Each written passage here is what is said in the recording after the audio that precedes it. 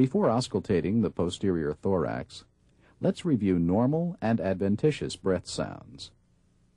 Normal breath sounds are classified by their intensity, pitch, and duration during inspiration and expiration. Vesicular breath sounds are soft and low-pitched. They're normally heard during inspiration and the first third of expiration, and can be heard throughout most of the lung fields.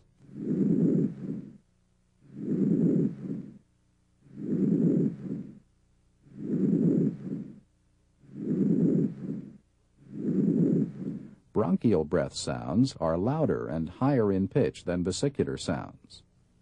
The expiratory sound lasts longer than the inspiratory sound, and a silent gap separates these two sounds.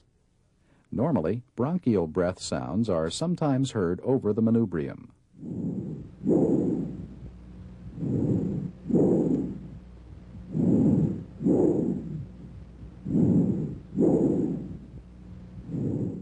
Bronchovesicular sounds have an intermediate pitch and intensity.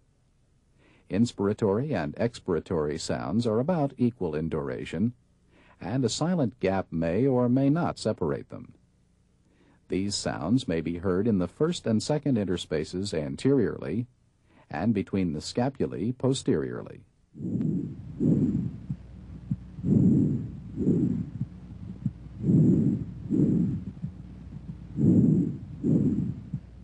Let's listen to these sounds again to compare them. Bronchial, bronchovesicular, and vesicular sounds, in that order.